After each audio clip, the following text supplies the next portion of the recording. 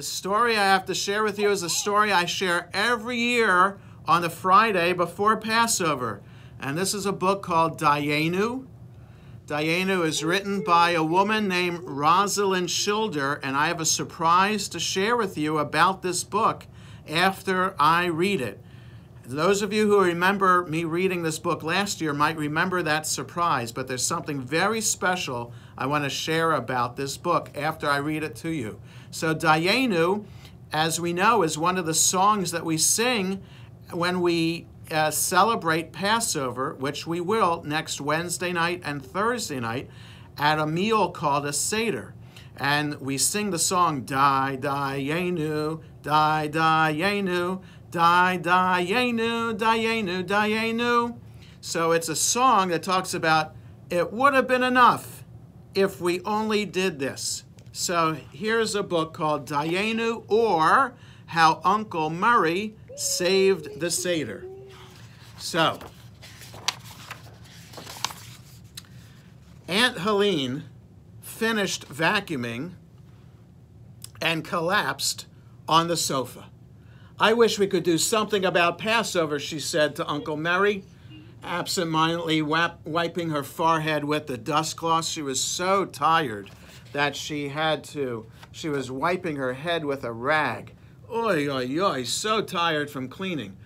Uh, no matter how much we do to get ready for the holiday, it's never enough. So here they are in their house. It's all a mess after their and they haven't even begun cleaning. You're right, said Uncle Murray. He's going to do that a lot. You're right, said Uncle Murray as he dusted the cat napping on the piano. See him dusting the cat there? Is that silly? Enough is never enough. But I have an idea. Why don't we skip some of the things that we do every year to make it easier for us to celebrate Passover? Great idea, said Aunt Helene. I'll get rid of all the chametz. That's all the food that we're not supposed to eat on Passover. I'll get rid of all the chametz, and I won't buy matzah, and it'll be enough, said Uncle Murray. So they scrubbed, and here they are throughout their house, cleaning their entire house. They scrubbed and scoured and dusted and mopped and vacuumed the house from top to bottom.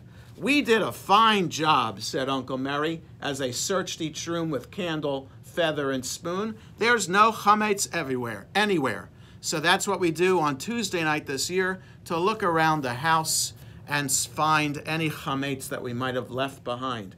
And there's no food anywhere, said Aunt Helene. We have to buy some matzah to eat. If we cleaned out the house, we have to have something to eat. Good idea, said Uncle Murray. Everybody should do that with me. Take your finger and go, good idea. Can you guys do that? There you go. Good idea, said Uncle Murray. If we buy matzah, but no other Passover food, it will be enough.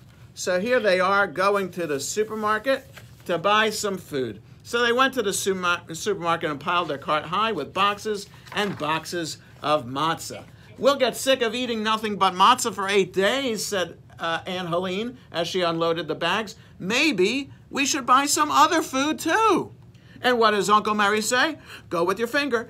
Good idea, said Uncle Murray. If we buy other Passover food and don't invite guests to share it, it will be enough. So they went, and here's Uncle Murray uh, juggling oranges in the supermarket. So they went back to the supermarket, loaded their cart with gefilte fish, apples, nuts, sponge cake, eggs, matzah meal, and macaroons. So much food!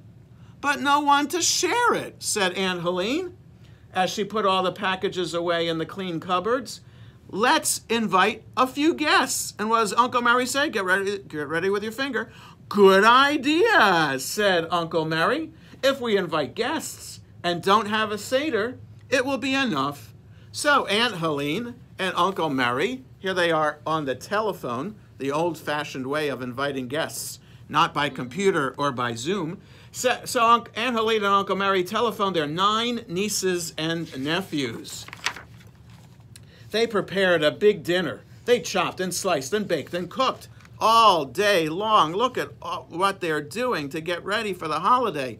All the slicing and dicing and all the cooking that they're doing. When all the guests had arrived and were seated around the holiday table, Aunt Helene looked at the unlit candles and she looked at the empty Kiddush cup. We have to light the candles, she said. After all, it's Passover. Then we can recite Kiddush. Get ready with your finger. Good idea, said Uncle Murray. If we start the Seder and don't ask the four questions, it will be enough.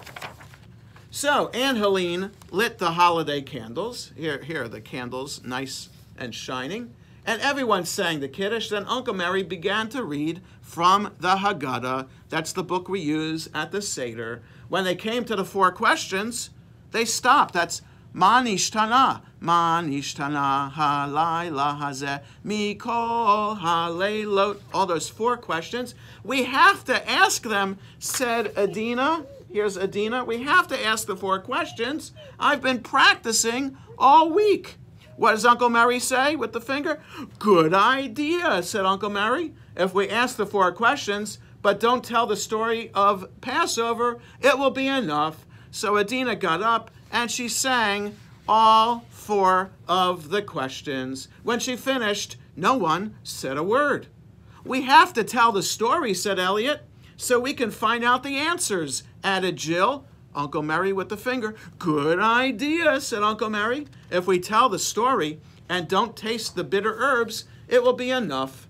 So they began to read. Once we were slaves in Egypt. You see them working very hard, carrying big, heavy things. And now we are free. We're not slaves anymore. But when they came to the part about the bitter life under Pharaoh, they stopped again. We have to taste the bitter herbs and matzah and charoset, said Lenore, to remind us of our life as slaves in Egypt. What does Uncle Murray say with the Good idea, said Uncle Murray. If we taste the special food and don't eat the Seder meal, it will be enough. So Aunt Helene passed around the bitter herbs, and she passed around the matzah and the charoset everyone tasted, and you see, tasting the bitter herbs. You see the tears coming out of her eyes. It's very, very bitter. Everyone said the blessings, and they all had a taste. Then it was time for the Seder meal. We have to eat it, said Jonah. And Aunt Helene and Uncle Murray worked so hard to, to prepare it. And Uncle Murray says, What with the finger? Good idea said Uncle Murray, if we eat the meal but don't share the afikomen, that's a piece of matzah that you have to hide away and find and eat at the end of the Seder, it will be enough. Everyone was so hungry that the delicious food quickly disappeared. When it was time for dessert, Lori and Judith proudly came forward with the afikomen. They found the afikomen. See, see, here they are with the afikomen. We have to eat it, they said, because we found it. And what does Uncle Murray say with the finger? Good idea, said Uncle Murray. If we share the afikomen, but we don't open the door for Elijah, it'll be enough. So Uncle Murray traded the afikomen for two small gifts, and everyone ate a piece of the matzah. Now it was time to welcome Elijah the prophet. We have to open the door said Lori. I think I hear him. Uncle Murray, with the finger. Good idea, said Uncle Murray. If we greet Elijah, but don't sing the songs at the end of the Seder, it will be enough. So Larry filled Elijah's cup, and Lori, see here's the Elijah's cup on the table, and Lori opened the door. Everyone watched to see if any of the wine disappeared. Then they looked at Uncle Murray.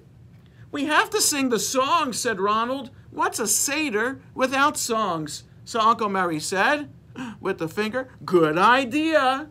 If we sing the songs and don't finish the Seder, everyone shouted, it won't be enough. We cleaned our houses of chametz. We bought matzah and Passover food. We invited guests, asked the four questions, told the story of Passover, tasted the bitter herbs, matzah and charoset, ate the meal, shared the afikomen, welcomed Elijah. So why not finish the song uh, fin- why not sing the songs and finish the Seder? concluded Uncle Murray. And they did. See all the musical notes all around? They finished the Seder, and everyone had a great Passover. See them jumping up and down, having a great Seder. So now that's a great story about the Pass about Passover and what we do on the first night of Passover. And the surprise I want to share is that the people in this book are people in my family. Because Rosalind Schilder, who wrote the book, is my wife Lenore's aunt. She is her aunt, Aunt Roz, she's known by in her and the family. And everybody in the book are my wife's cousins, Elliot and Jill. Lenore is in the book. Jonah, that's me in the book. And Judith is, is her sister. And uh, Ronald and Lori and um, Elliot and Jill and Ronald. Yeah, all of them are all of Lenore's cousins. So my aunt wrote this fun book really about her family, using her family as a model for the book.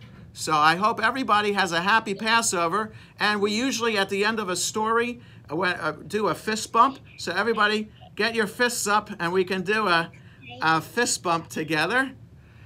And I wish everybody Shabbat Shalom and Chag Sameach. So I won't see you next Friday because it's Passover, but maybe two weeks from today? Two weeks from today, Maura Beth says. Yeah. See you all then. Shabbat Shalom.